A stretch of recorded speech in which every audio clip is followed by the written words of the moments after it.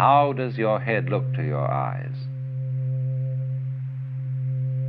Well, I tell you, it looks like what you see out in front of you.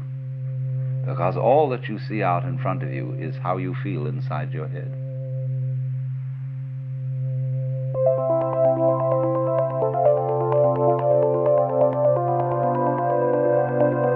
It is easy enough to stand still.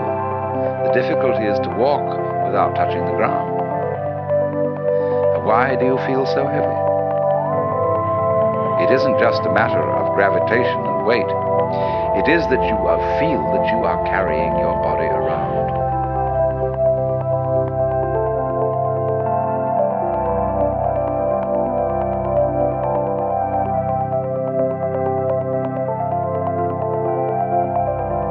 Common speech expresses this all the time. Life is a drag.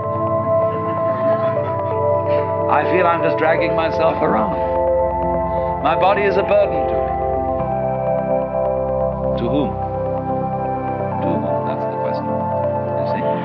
And when there is nobody left for whom the body can be a burden, the body isn't a burden. But so long as you fight it, it is.